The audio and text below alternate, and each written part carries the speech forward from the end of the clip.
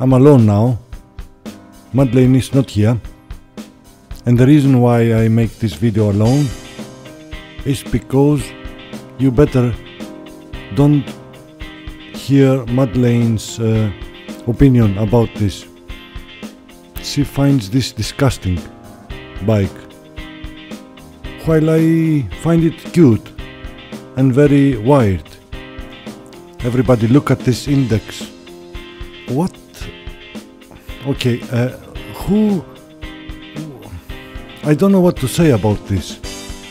This is like uh, my watch when I was uh, 12 years old, wearing a watch like this.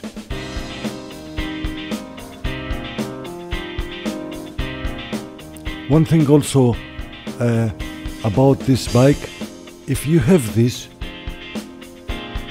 you must have and the style to support this bike. It's not for everybody. You must be wired as well.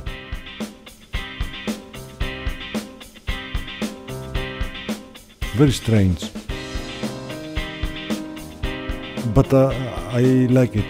I believe this uh, motorcycle either you love it or you hate it.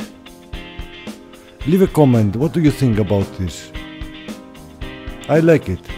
Me.